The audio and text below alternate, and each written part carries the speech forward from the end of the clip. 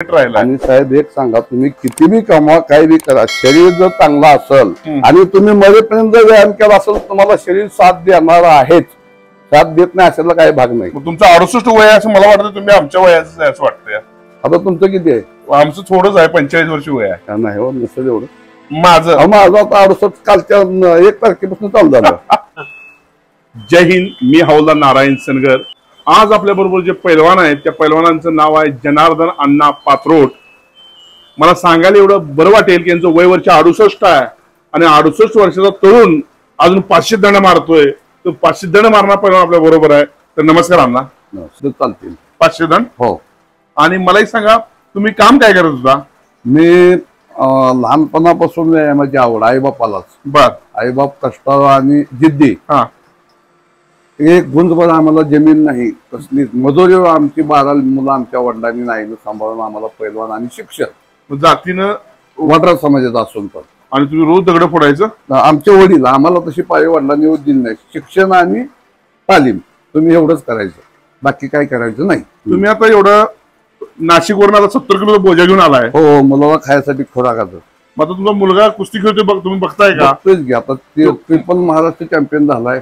मग आणि काय मुलाकडून अपेक्षा आहे? आम्हाला महाराष्ट्राची गदा घरी आणायची आहे आणि नॅशनल पण खेळायला लावायचं त्याला. तुम्हाला अनेक गौरवाची गोष्ट सांगतो. सांगतो. की एकोणीशे एकाहत्तर साली लक्ष्मण वडारे यांनी डबल महाराष्ट्र केसरीची हो, गदा आणली हो, होती. हो, हो, हो. ते पण रोज दगड फोडायला जायचे. बरोबर तुम्हाला माहीत आहे का? आहे येस बरोबर. बघायचो आम्ही. लहान होतो पण ऐकून आम्ही आहेच.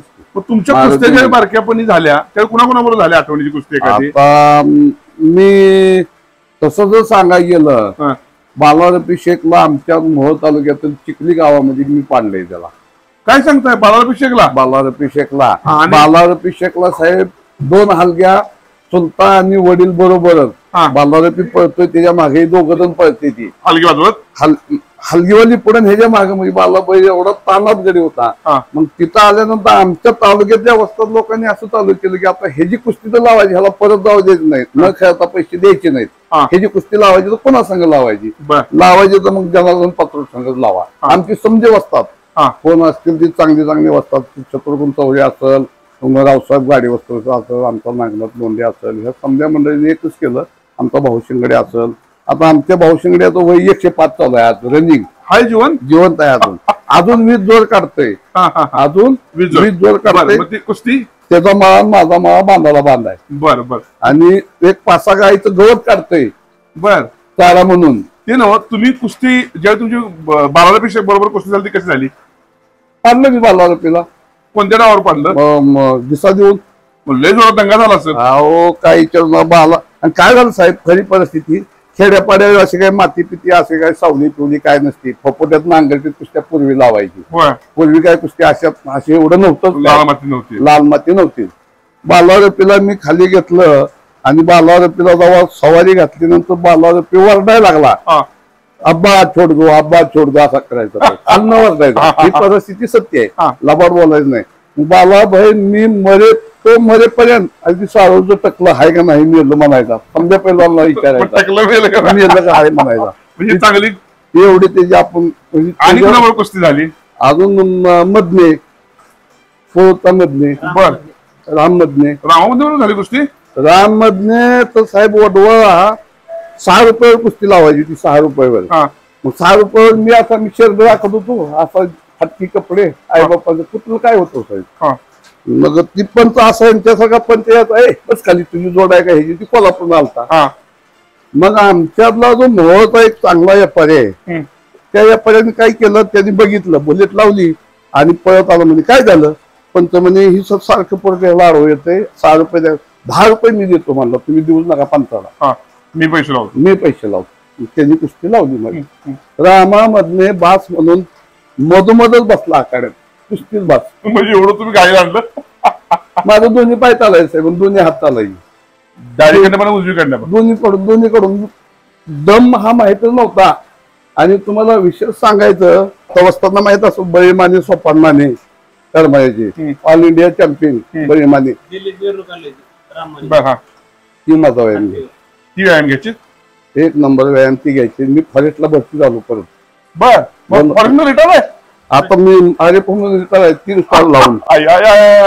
फार मोठ्या माणसाजवळ आपण आलेलो आहे. क्या बात आहे क्या बात आहे. अरे पण रिटायर आहे अरे पण म्हणून रिटायर झालो साहेब नाशिकला. बाप रे आज अंगाव काटा मारला बघा. खरी पण हे बघा वनरक्षक म्हणून लागलो. आणि अरे पण म्हणून रिटायर झाले. आरोप म्हणून रिटायर झालो. शिक्षण कमी पडलं म्हणून सब पोस्ट भेटली नाही तेवढी पेन्शनला कमी पडलं. बर मला एक सांगा. तुमची बालपणी परिस्थिती कशी होती हो तुमच्या वडिलांची? अहो बालपणी आम्ही भाकरी दुसऱ्याला भाजी भाकरी मागून खात होतो. अशी परिस्थिती जास्त काही नव्हतं ना सर. वडील कष्टाळू वडील कष्टाळू होते पण. माझे वडील भाऊ डेप्युटी कमिशनर म्हणून रिटायर झाले. वाढले ते आता. Deputy commissioner? डेप्युटी कमिशनर म्हणून विक्री करा ऑफिसला रिटायर झाले. बरं आणि तुमची परिस्थिती एवढी खराब असताना तुम्ही कसं काढता? मग आमच्या वडिलांनी तीच केलं तुम्ही काहीच करायचं नाही. उद्योगधंदा फक्त शाळा शिकायची आणि व्यायाम करायला पैलवान व्हायचे. आणि नोकरी बघायची कुठे बी तुमच्या तुमच्या बर.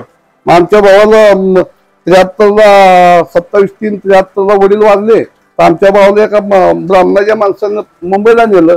आमच्या महाराष्ट्राचा मेन साहेब त्या टायमाला आमच्या गावचा सारळी नगरीतला. कुलकर्णी म्हणून होता. तर त्यांनी तिथं क्लार्कच्या सोलापूरला क्लार्क म्हणून लावलं. बर. तिथून ते डेप्युटी कमिशनर झाले. निष्ठावंत कार्यकर्ता. एक रुपया कोणाचा चहा प्याणार नाही. क्या बात आहे पुरस्कार भेटले की भावाला भेटले समजायला भेटले. आम्हाला आमचा फॉरेस्टच्या पोलीस जंगलीची जंगली? पण जंगलात राहून तुम्ही फिट. राहिला अजून. आनंद आहे आम्हाला खरंच आनंद आहे तुम्ही जंगलात राहून फिट राहिला आणि साहेब एक सांगा तुम्ही किती बी कमवा काही बी करा शरीर जर चांगला असेल. आणि तुम्ही मरेपर्यंत जर व्यायाम केला असेल तुम्हाला शरीर साथ देणार आहेच.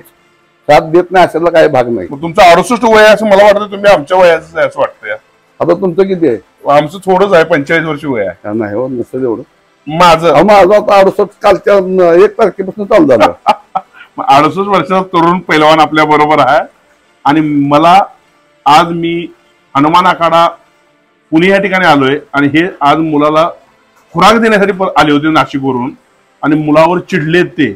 त्यांचा मुलगा ट्रिपल महाराज चॅम्पियन आहे. आणि तो इथं उभा आहे म्हणून ते म्हणजे चिडलेत की तू का वाखाड्यात गेला नाहीस?